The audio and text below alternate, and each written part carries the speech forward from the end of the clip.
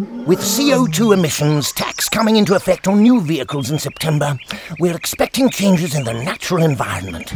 We've already noticed a mass movement of people to Mercedes-Benz Bryanston, Sandton, Rosebank, Northcliff and Constantia Kloof as people stampede for these incredible deals. You could also be driving the new technologically enhanced CGIs with their amazing private rental deals. Visit sandown.co.za for more information while stocks last. Terms and conditions apply naturally.